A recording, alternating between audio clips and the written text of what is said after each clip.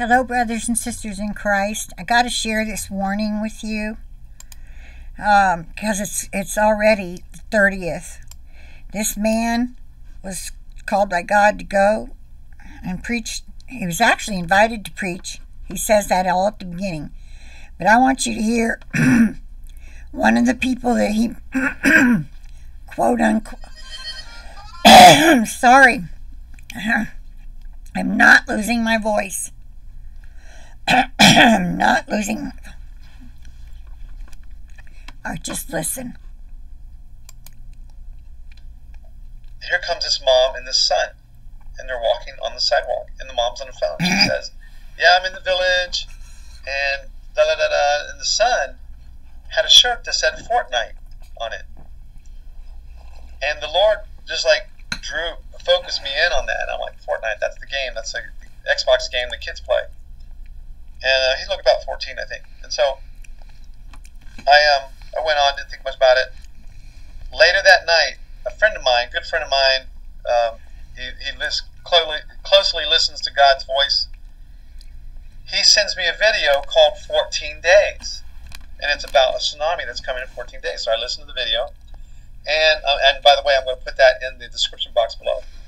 And I'm listening to the video, and I look at the date, and it was seven days ago.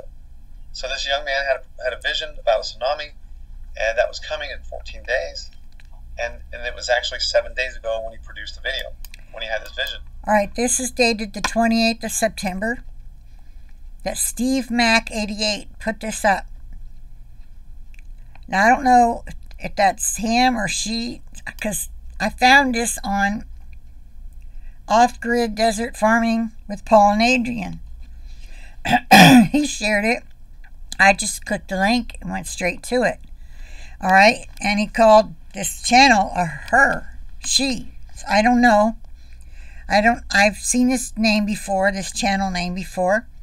So anyway, um, he said he put it in the description box below. So maybe it's his channel. Maybe he just uh, accidentally added an S to he. Okay, so we're talking about we if you've been following La Palma. I'm just going to cut to the chase. You can listen to the rest of this video because he's talking about coming tsunami, invasion, and famine. If that person's dream or, or whatever he said was right, and it comes in 14 days from the time they got it, Okay, it's all, it's five more days. Five. Okay, if you've been watching the La Palma, look here, Steve Denoon, or Ben Noon, whatever it is, La Palma tsunami warnings.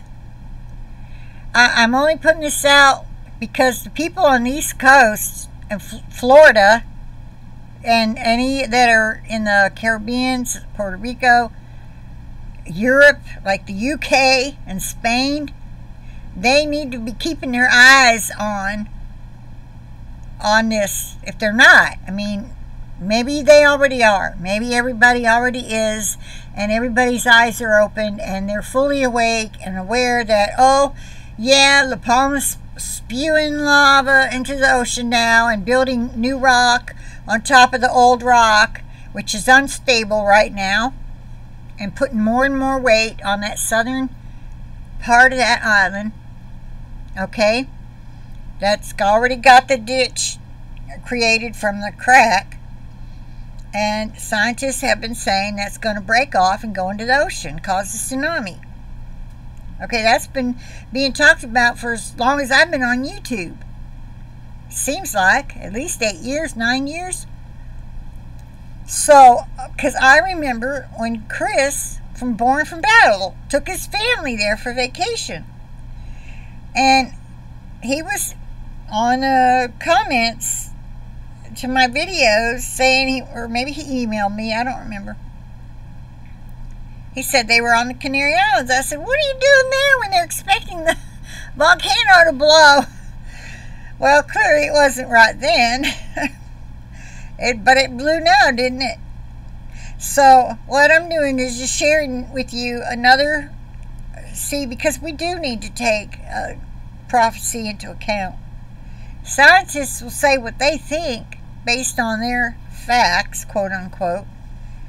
Um, and, and a lot of it is they have these seismologists and their seismographs and they can register the Richter scale of the earthquakes and all this stuff. You know, they have all this stuff that records activity, and volcanic activity, and they can tell certain things and kind of guesstimate, make an educated guess. But they can't pinpoint it. But God can. God knows exactly when it's going to happen, and He can choose who He wants to give dreams, visions, and words to to warn us. So I'm going to end this here and put this link in the description box, and then I'll go check out Steve's. And if it's if it's um, well, it was streamed a day ago. Forty-four thousand views.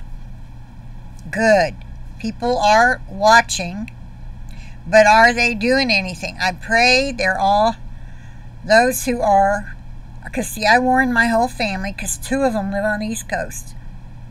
Well, one is it, it works for at Camp Lejeune is with NCIS, and, and my sister, she's in Georgia, and I'm not sure exactly where this horse ranch is that she and her husband live on now. Um,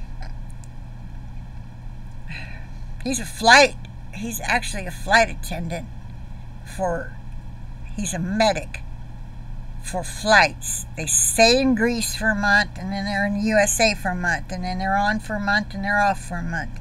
And if he's over in Greece or staying over there somewhere near Greece and one of our VIPs gets sick or hurt or injured, whatever, they need to come from a European hospital to the States you see, then he's a medic that takes care of them while they're in flight.